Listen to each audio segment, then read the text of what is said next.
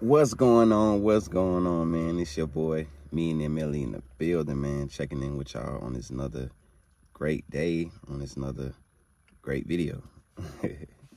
um, I'm reading this book, man, called Resurrection. Let me see if it'll focus. Resurrection by Neville Goddard. Um, great book. Neville Goddard is one of my favorite authors um, because I ain't gonna lie, like some of his books done changed my life, like the the way I think. Like if I haven't read, if I wouldn't have read Unlocking the Keys to the Bible, y'all wouldn't be hearing me talk like this for real.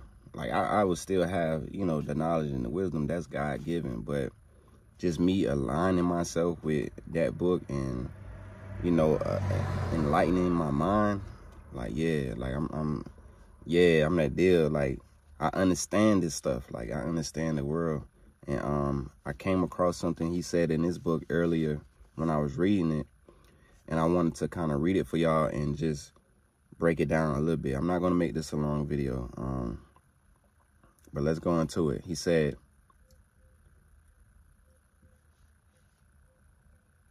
right, so let's, let's go into it. So I'm going to start right here for y'all.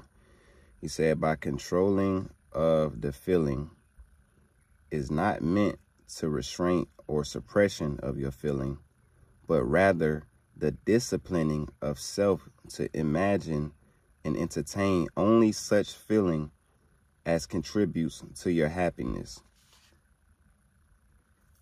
He said, control of your feeling is all important to a full and happy life. Never entertain an undesirable feeling, nor think sympathetically about wrong in any shape or form. Do not dwell on the imperfection of yourself or others.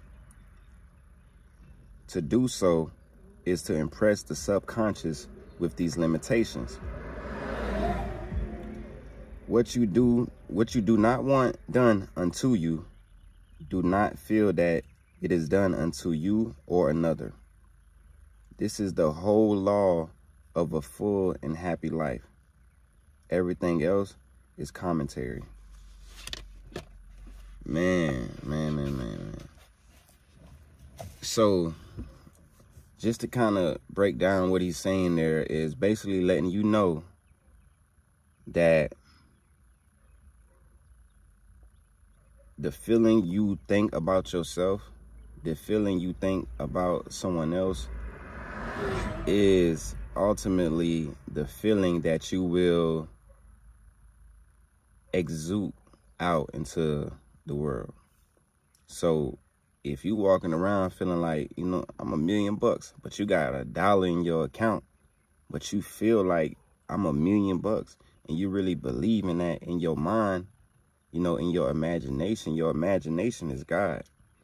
It is the form, the creation, and then the outwardly expression of everything that you do. And that's nothing but God. So everything around you came here through the form of imagination. Somebody thought about it. Somebody used their God power to align themselves with what they wanted to see in the physical. Right? So this is why I have my name as Millionaire Melly. No, I'm not a millionaire yet, but if I can feel that, if I can exude that and put the action in towards that, then eventually I will become that.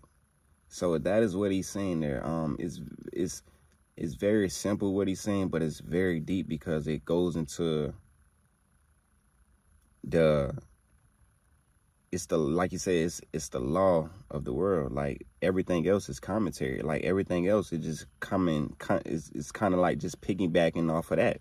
He said uh, also he said don't entertain feelings that don't make you happy. So that's so powerful because that can get you anywhere in life. If you if you going through something you know this something that you're going through does not make you happy why continue to entertain those those thoughts, those feelings, that person, that situation, that environment, if it's not making you happy, if it's not helping you grow? simple gem, but so powerful, and it would definitely change your mind. Like these are some of the things I live by. Like I don't, I don't try to entertain things that don't bring me happiness. Do I sometimes do? Yeah, of course. I'm human. But a lot of times I catch myself like, man, that ain't bringing me no happiness. Let me get up. Let me get away from that. That person ain't bringing me no happiness, no peace. You know what I'm saying? Let me let me get away from that. So yeah, man, definitely go and cop that book. Like I said, it's it's not going to be a long video. I don't know why it's showing up upside down for y'all, but it's Resurrection by Neville Goddard, one of my favorite authors. Um, let me know what you think about this video. If you like it, comment, subscribe. Excuse me. And I'm to tap in with y'all on the next video. Millionaire Melly, and I'm gone. You feel me? Yeah.